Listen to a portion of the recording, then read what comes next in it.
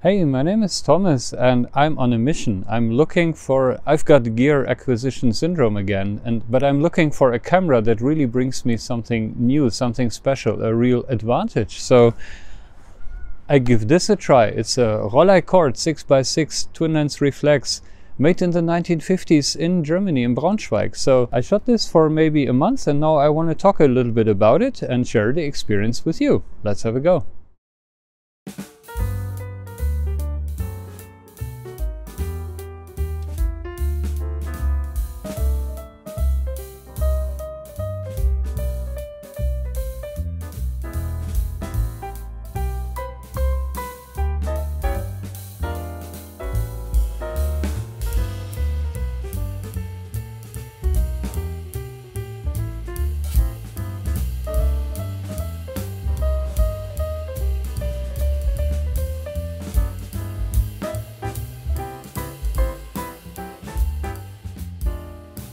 So uh, Rolleicord, that's the cheap version of a Rolleiflex. And the Rolleiflex, uh, they, both these cameras come from Franke and Heidecke, a company in Braunschweig in Germany.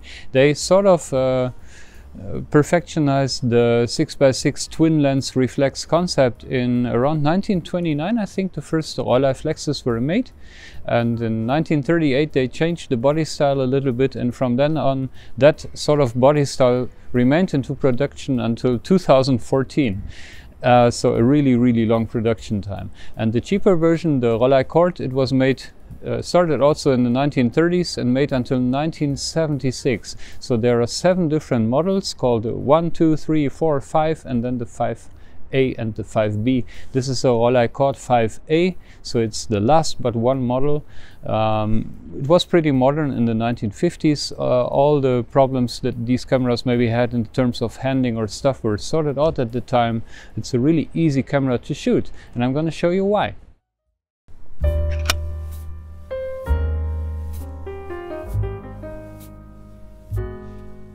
Forty meters 125th of a second f4 ISO 100 I've got the Kodak T-Max 100 in it.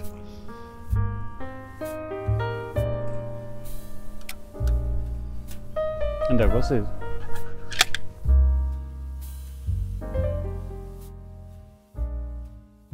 So when I said that old uh, cords would be problematic, I don't mean they have any problems in terms of how they work. It's more like there are some issues when you operate them. Basically, you can say there's like three generations of Rolleicords.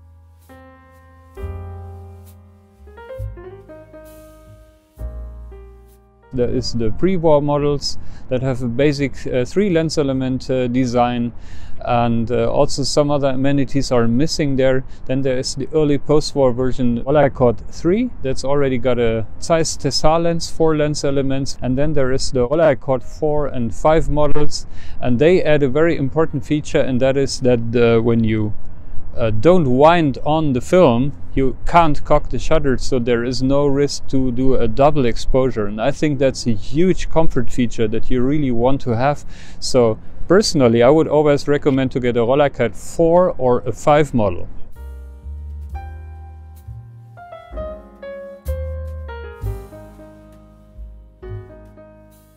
Note these nice light baffles inside the camera for increased contrast of your images. All Rolleicord 4 and 5 models have this feature.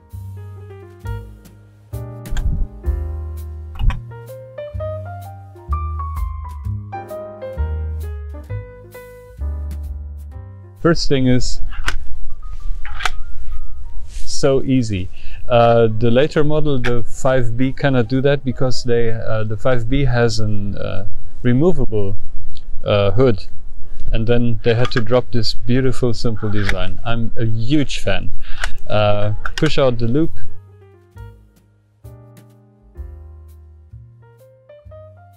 Push out down this and then you can peek from here through there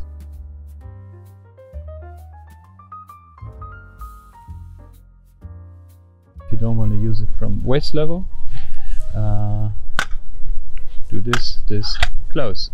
Fantastic. Uh, this is to wind on the film and as I said, uh, starting with the Rolleicord 4, they have uh, a prevention for double exposure. That's a small lever here. You can pull that lever if you want to do double exposure. There are many Rolleiflex models that can't do that. Uh, no double exposure is possible even if you want to. So this is an advantage. Um, here you have to push that and turn to adjust your aperture. And here there's small windows so you can see your value in these small windows. And you can here adjust your shutter speed. Remember these two are interlocked. The idea was you would use an external light meter get an exposure value uh, set the value once and then you could run through all the different uh, you know combinations of shutter speed and exposure time with one lever. Uh, today most people find that a hassle me too. So if you only want to adjust the shutter time not change the aperture you press this again and then you can move this lever. Okay uh, here is a flash sync. Uh, here goes your uh, cable release there's also a small attachment for this if you want to use this as a shutter button from below. That small attachment, I always show you a picture, I've got it at home. Uh, super expensive today, like 50, 60 euros because they often got lost. Uh, normally you trigger the shutter here, you go like this. I don't do it now because there's film in it and you wind the shutter pulling the lever to there. Um, here we've got the uh, focusing? It's beautiful completely it works it's a fantastic mechanism has a very very solid feel to it very smooth. Uh, it focuses down to 0.9 meters. That's of course with all the twin lens reflexes the problem uh, you can't really focus very closely. There is an attachment for that to focus more close. Uh, these two guys you will need when you insert film um, here if you I do it very carefully now. If you do go like this and then you can pull this lever you can open the camera to remove the film now it's locked. And here you've got your film counter 12 pictures on a roll of 6 by 6 there are also attachments available for 6 by 4.5 and even for 35 millimeter film but today I think they're pretty not interesting. Here you've got an old that helps you with your exposure because the camera doesn't have an exposure meter. And here you've got the Zeiss Tessar lens f 3.5 75 millimeters. It equals about a 40 millimeter in uh, 35 mm film. So it's a sort of a wide standard lens. Uh, and with f3.5 on a 6x6 frame you also get a pretty low depth of field.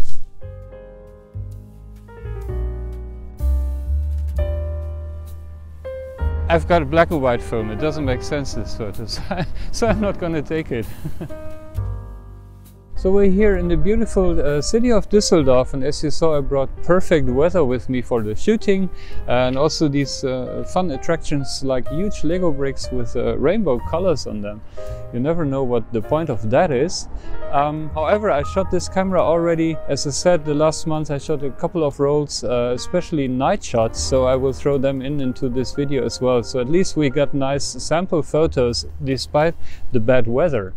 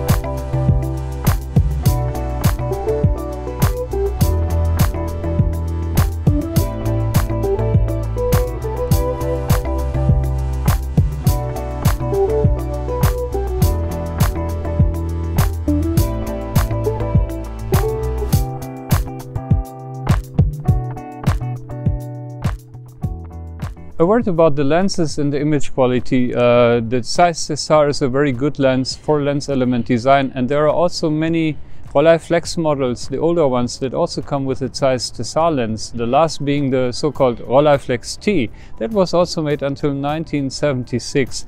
So whatever camera you buy, either a Rolleicord or such an older Rolleiflex, if you've got a Zeiss Tessar lens, you will get a beautiful 1950s style of quality. And if you stop it down to 8 or 11, uh, you also get really crisp and sharp uh, detailed images that almost look like uh, yeah like modern day uh, quality. So that's a very good thing. It combines the old look with a modern quality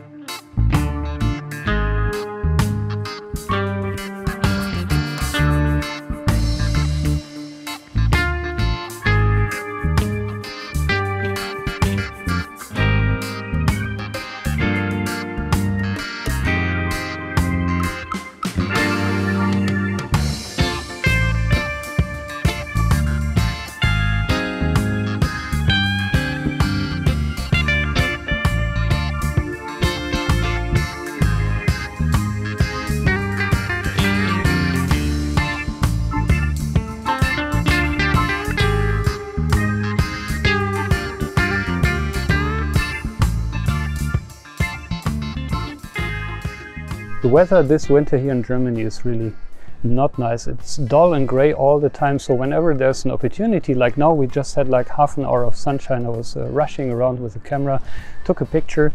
Um, note all these nice original filters and attachments that uh, Rollei uh, was delivering for Rolleiflex and Rolleicord models. This is the so-called Bayonet 1. This is the smallest size and then other models have Bayonet 2 or 3. So the filters have like a bayonet mount fantastic. Love it. And that brings me to the verdict. Uh, i really love this camera. It ticks so many boxes for me. Um, I was looking for something that brings my photography a little bit forward in terms of I wanted a versatile camera, a affordable camera, a camera that's easy to carry around, small and compact, and with the biggest image quality. So um, 6 by 6 this camera just beats any 35 millimeter camera. You can do I don't know, even a Leica won't do this in terms of detail and tonality. Um, it's affordable. I paid 150 euros. Uh, yes, the camera needs a, the shutter needs a CLA job. That's maybe another 150, but still, you know, 300 euros for such a beautiful camera, I don't find it's too much. Uh, it's lightweight, about 900 grams, almost nothing. You don't feel it in your bag. Uh, it's not as small as a folding camera if you want to go even smaller. Check out my Voigtlander Perkeo uh, 2 review. Maybe the smallest way to go, quality 6x6. But the TLR is for me much more enjoyable to shoot. I love the big reflex uh, finder. I love that it's so small and quiet also because it has, you know, twin lens reflex has a fixed mirror, no mirror slap. Uh, love the lens quality of the Tessar. Um, it's just a super well thought out camera. I love also the fit and finish of this thing. I think it's better fit and finish than Yashica or Minolta Autocord, which are also awesome cameras. But yeah, last not least, it's a legend. It's the baby version of a Rolleiflex, but it is for me a real legend. If I think of legendary cameras, I think Leica, Hasselblad, and Rolleiflex, and this is the baby version of Rolleiflex. I can't complain. I'm really, really happy with this camera. Uh, the two downsides, number one, close focusing, 0.9 meters, hmm, not so nice. Um, all twin lens reflex cameras have this problem, save the Mamiya C uh, series. Um, but the Mamiya is a very big and heavy camera. I also uh, have one and I reviewed it. Um, the video link is there. Beautiful camera, the Mamiya, also with interchangeable lenses, but very, very heavy and um, and this is lightweight, transportable, and beautiful. I'm, I'm, I'm so happy with this camera, I can't believe it. Uh, so I can only recommend it to everyone.